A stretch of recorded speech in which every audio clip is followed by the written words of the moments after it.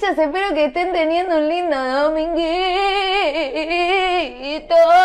¿Qué le pasó? Amichas, prepárense porque hoy hay un bardo. Cuando no, igual, en esta comunidad, ¿no? Pero particularmente hoy hay chisme jugoso, quilombo, todos contra todos, una cosa bárbara. Prepárense para este chusmerío fuerte, hermanas. Sáquense el sombrerito de la ética y la moral, porque acá nadie hizo las cosas bien. Yo ya quiero aclararlo, porque viste que en redes nos encanta como poner lo que debería haber hecho todo el mundo. No, ya está, ya pasó esta historia. Ya sabemos que todos se equivocaron, todos hicieron las cosas mal, ya está listo. A confesar a la iglesia. Relájense y disfruten esta chisma porque es una cosa preciosa. Qué manera de equivocarse todos, porque les juro que no zafa un personaje de esta historia. Es bárbaro, yo amo, amo cuando amo la miseria, yo. ¿Qué quieres que te diga? Amo cuando sí, me la mandé, la verdad. Viste que todos vamos por la vida así, haciéndonos los que hacemos todo bien. Bueno, a mí me gusta la gente que dice, che, la verdad, me mandé un moco.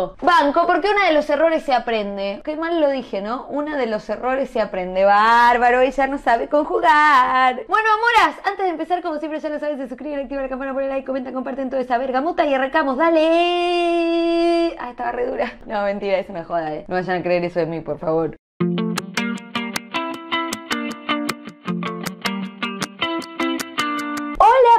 Mayor, soy una Pipi silenciosa con miles de mails en borradores para mandarte. ¿Que no te animás, amor? Te amo, mandalos, mandalos todos. Vamos a llamarme Mía, pero antes se suscriben, activan la campanita y todo es saber. Gracias. Este es como casi un notibarrio mío, dice. Sí, pipis, fiel chisme y la roba maridos del barrio. Amo. Les recuerdo, por eh, las dudas, que notibarrio es cuando le pasa a otra persona y vos te enteraste el chisme y como buena pipi venís a contarlo a la comunidad. Y todo el resto de las secciones, las protagonistas son las pipis. Por eso dices como un notibarrio mío, porque es un chisme muy jugoso, pero le pasó a ella, entonces va en la sección correspondiente, digamos. Hace un año yo me encontraba en pareja muy feliz, o eso creía yo, con Martín, Rosarino, 22 años, morocho, hermoso, dice. Yo 24 años, porteña, él del campo, yo de la ciudad, nada que ver. Yo trabajaba en una empresa y solamente los fines de semana o la semana que nos daban de descanso podía viajar a verlo y compartir con él. Qué difícil la regla distancia, amor, igual. Admirable, te digo. Yo no, no, no podría. Una sola vez intenté con un cordobés, bueno, él resultó que tenía una novia allá y una novia acá, bárbaro. Bárbaro.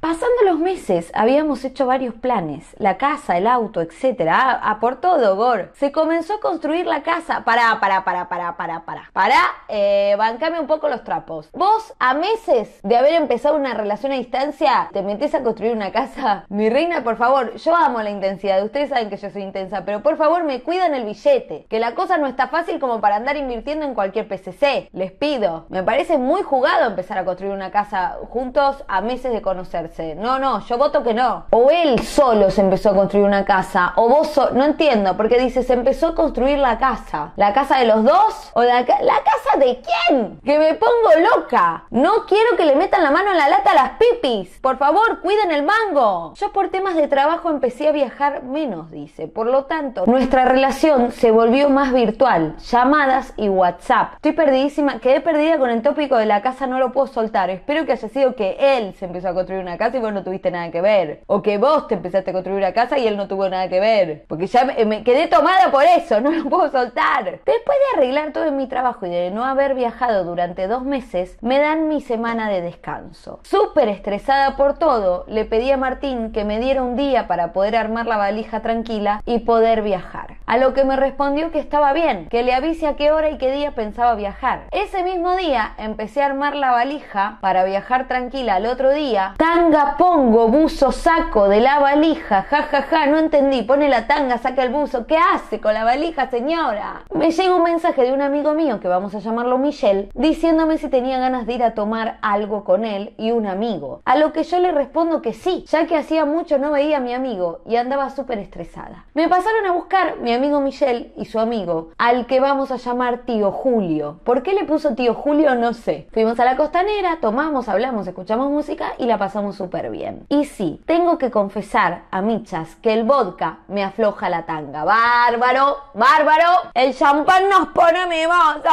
Después que el amigo de Michelle nos deje en mi casa, nos sentamos a comer y hablar con mi amigo. Ah, para, para. Ustedes se fueron a tomar algo los tres y después el chico, el, tío Julio se fue y vos quedaste con tu amicho tomando algo en tu casa. Ok, te sigo hasta ahí. A lo que le llega a mi amigo un mensaje del tío Julio diciéndole que me quería ver, pero sin números de celular ni mensajes, ya que él tenía mujer, a la cual yo conocía, dice la Pipi. Y yo estaba con Martín. Esto también es un juez de trampa, me parece a mí, porque ella está en pareja y el tío Julio también está en pareja. ¡Ay, Dios santo, me baja la presión! Yo cancelo el pasaje para poder verlo al tío Julio. Me parece un montón hermana. Vos tenías menos ganas de ver a tu novio. Todo bien, Rosarino, Divino, Moro, Chopotro, todo. Pero vos, pero, porque, escuchame. Porque acá dice, sí, Pipi, se me había aflojado la tanga. No solo el, el vodka, dice, sino las miradas que había mientras charlábamos. Y los miles de palazos que él me había tirado. Claro, te calentaste con este. Porque si fuera solo que el vodka te afloja la tanga, irías corriendo con tu novio. Te calentaste también con este.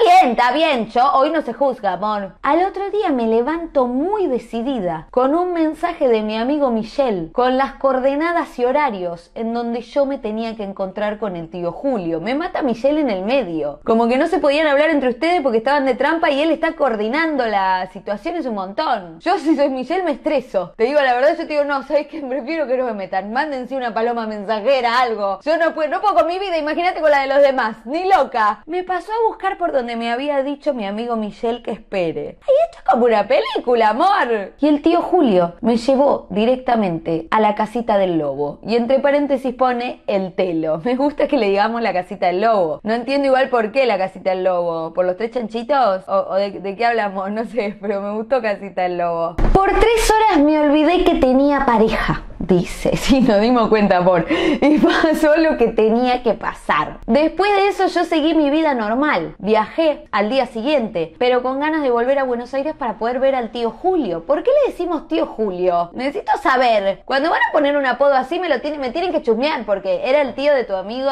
en realidad, y como, nada, ¿no? Bueno, no sé, no sé, no sé, tengo esa intuición. En el transcurso de esos días, tío Julio no se aguantó de no hablar conmigo, así que rompió su palabra y consiguió mi número. Me llamó en plena cena con Martín y su familia. No, amor, no, no, no. Yo te juro, Gordi, yo ya de leerte ya me, me, estoy poniendo nerviosa. No puedo, no, encima que no sé disimular. Imagínate, te llama tu amante, yo por eso no puedo tener amante, amor. Te llama tu amante en plena cena familiar, o sea, con la familia de tu novio. O sea, yo por mucho menos hago la de los chabones cuando te enterás que te son infieles y vomitan. Yo también vomitaría porque es una situación o vomito o me cago encima, pis por el culo ese nivel, somatizo todo con los intestinos. Porque esa situación de tensión absoluta no la quiero vivir por nada del mundo. ¿Por qué le haría eso a mi psiquis? ¿Entendés? No hay chance. Pero bueno, entiendo que hay gente que le redivierte esa adrenalina. A mí no, y me da miedo, porque me puede agarrar un brote de los nervios. ¿A ustedes, amichas, se bancan la adrenalina? ¿O son personas inestables como yo que lo que más anhelan en la vida es un poquito de estabilidad, aunque sea en algún plano? Gracias, necesito saber. Me levanté a atender el celular cual desesperada por escucharlo, dice, preguntándome cuándo volvía, que me quería ver, que él me pasaba a buscar por retiro. A lo que yo respondí toda roja y fingiendo que hablaba con mi compadre. Sí, compadre, le dije. Hoy mismo voy a sacar el pasaje para mañana 5 pm llegar a Buenos Aires. Yo no sé qué es compadre, chicas, perdón. Soy burra, pero lo voy a googlear. Padrino del bautiz, de bautizo del hijo o del ahijado de una persona. No entendí. Quien coopera con el padre. ¿Qué?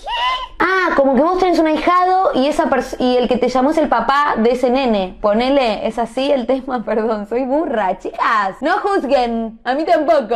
Algo así es, compadre, bueno, yo me voy a hacer un pariente. Lo acomodo así, un pariente. Vos dijiste que hablabas con un pariente. Al otro día me levanté tempranísimo y saqué el pasaje para volver. Como le había dicho, a las 5 llegué a retiro y el tío Julio estaba ahí esperándome. Ya todo muy revolucionado. Yo dejé de viajar tan seguido y lo veía tío Julio todos los días. Vos cambiaste de novio, amor. Solo que te olvidaste avisarle al Rosarino, pobrecito que quedó ahí esperando. Me acompañaba a llevar a mi nena al colegio, me llevaba al trabajo y después me iba a buscar. Cada vez era todo más intenso entre nosotros. Los dos todavía en pareja, dice, él con su mujer y yo con Martín. Hasta que llegó diciembre. En todo ese transcurso de tiempo habíamos hecho una promesa con el tío Julio, que nosotros en diciembre íbamos a dejar a nuestras parejas para formar algo juntos.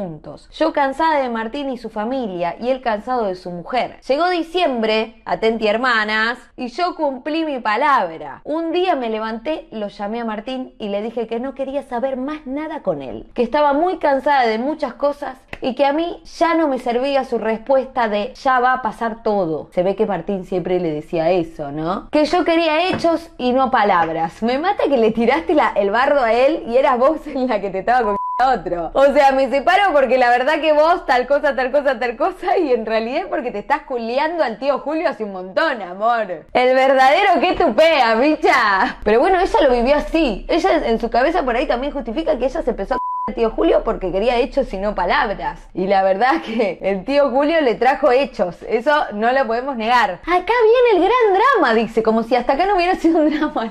La, amo, la amo totalmente porque ella dice, ahora viene el drama. No, amiga, todo lo anterior que fue. Dice, el tío Julio no se separaba más. No sé por qué no me sorprende esto. Pasó el mes de enero. Claro, habían dicho que se separaban en diciembre. Amor, vos ilusa creyendo en el tío Julio, yendo hacerle un desplante a Martín, echándole la culpa por las dudas, por las dudas echándole la culpa de todo. Y este chabón no sé si estoy tentada. Perdón, hermana, sé que estoy tentada con ella porque es muy graciosa. Siento que es esa amiga que sabes que se manda 77 cagadas juntas, pero es tan simpática que te puede, que no, como que la querés cagar a pedo, pero no podés, porque te hace una carita y vos decís, bueno, amiga, ya está, no te preocupes, ya va a pasar, como te dijo Martín. Bueno, cuestión que un día, la mujer a la cual yo conocía, se enteró que andaba conmigo. Ah, porque Julio nunca se separó. Y sí, Pipis, se armó un verdadero quilombo, dice. Mensajes y publicaciones en el compra y venta de Facebook con mi foto.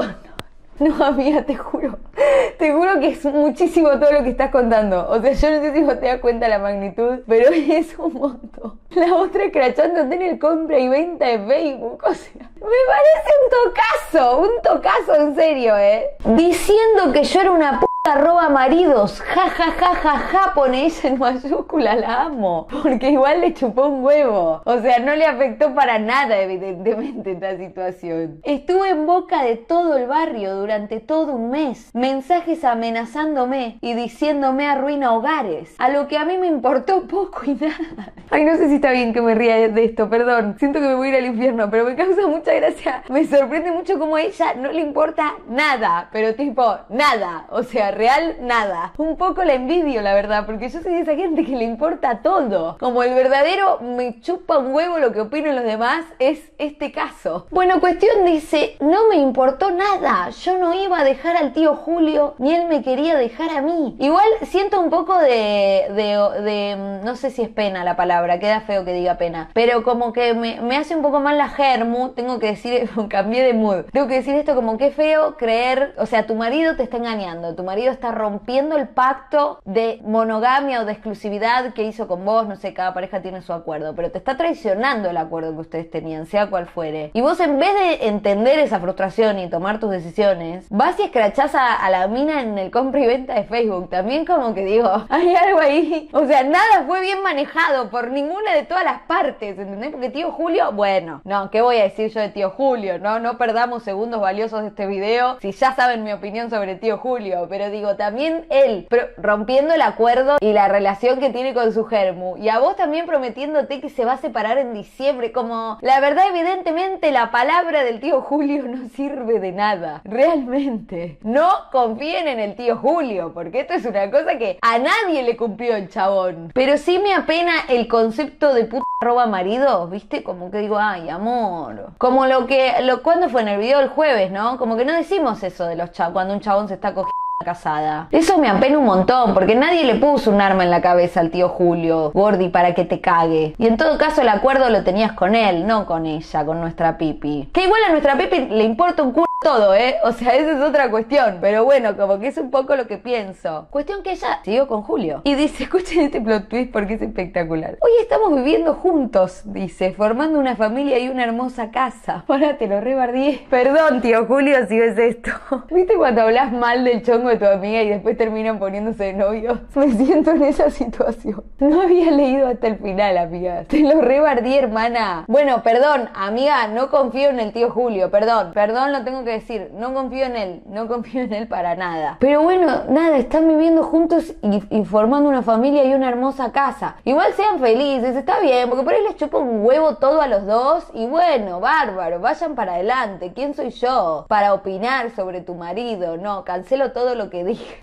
La quería arreglar. Bueno, qué sé yo, yo soy muy rencorosa. Se ve que vos podés perdonar, es admirable eso. Yo no lo perdonaría nunca. Esto que te haya dicho que se separaba en diciembre y no se separó y en enero la otra se la agarró con vos, lo responsabilizaría totalmente a él de esta situación. Pero bueno, dice, espero no haberlas aburrido. No, amor, no. Claramente esto aburrido no fue. Podríamos tener otro tipo de debate, pero aburrido te aseguro que no fue. Lo tenía que compartir con ustedes, ya que con sus historias me he reído, llorado y muchas veces me sentí identificada. Muchos besos las quiero, amor. Te tengo que decir algo, me encanta tu personalidad. O sea, me, me encanta, me encanta que seas así de incorrecta. ¿Qué quieres que te diga, Gordy? Me causa gracia. Podata, la historia es más extensa, pero no íbamos a terminar. Más besos las quiero. Yo a vos, amor. Siento que sos esa micha que se la remanda, pero es como un personaje y decís, ya está, te perdono todo. Pero bueno, micha, las voy a estar leyendo. Las amo con todo el cora. Esto ha sido todo y nos vemos mañana.